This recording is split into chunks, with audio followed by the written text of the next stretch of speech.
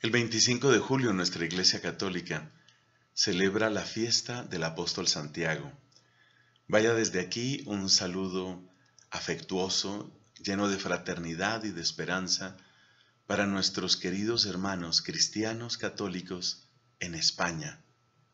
Santiago, llamado Santiago el Mayor, el hermano de Juan, aquellos pescadores en Galilea, es el santo que recordamos hoy y es el patrono de España, donde respetuosamente se le llama el Señor Santiago.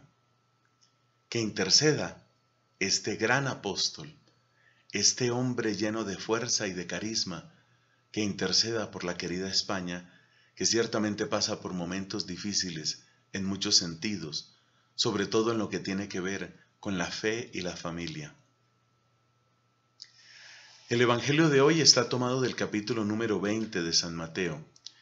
Y yo llamo a este Evangelio el día en que Santiago hizo el peor negocio de su vida.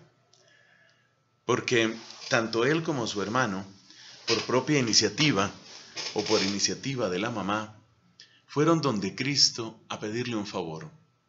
Como hemos escuchado en el Evangelio, el favor era estar muy cerca de Él en el poder y la gloria. Y la pregunta que les hace Cristo tiene que ver con cercanía, pero otra clase de cercanía.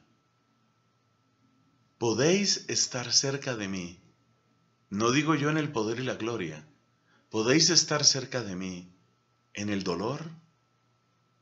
¿En el sacrificio? Ellos piensan en honores y Cristo piensa en dolores seguramente creyendo que con esas palabras iban a conseguir lo que deseaban, estos dos apóstoles le dicen, sí estamos dispuestos a beber el cáliz. Y entonces Cristo confirma, el cáliz lo beberéis. Pero aquello de estar sentados a derecha e izquierda mía, es decir, muy cerca del poder, ese tema se lo dejamos a papá Dios se lo dejamos a Dios Padre. O sea que estos iban buscando honores y poder y lo que les ofrece Cristo es bien diferente. Les ofrece un camino de sufrimiento y les anuncia que lo que ellos querían finalmente tampoco está concedido. Por decirlo menos, queda en la incertidumbre.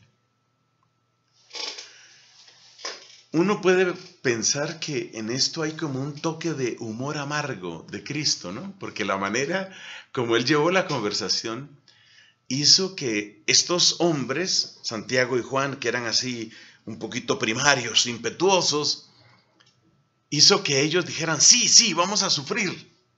Si hay que sufrir, vamos a sufrir. Y después, entonces les resulta, entonces les resulta con que ni siquiera ese sufrimiento garantiza nada. O sea, uno puede ver como un toque de humor de Cristo, repito, un poquito de humor amargo. O uno puede conjeturar qué será lo que ellos pensaron cuando ya Cristo les dio esa respuesta. A ver, tomemos la cosa así, con un poquito de, de imaginación. ¿Te imaginas tú a Santiago y Juan después de esta conversación con Cristo? Yo me los imagino por lo menos hablando el uno con el otro y diciendo, oye, bonito negocio hemos hecho, ¿ah? Bonito negocio. Ahora a sufrir y lo de la gloria no se sabe. Eso fue lo que sucedió. Pero sabes una cosa,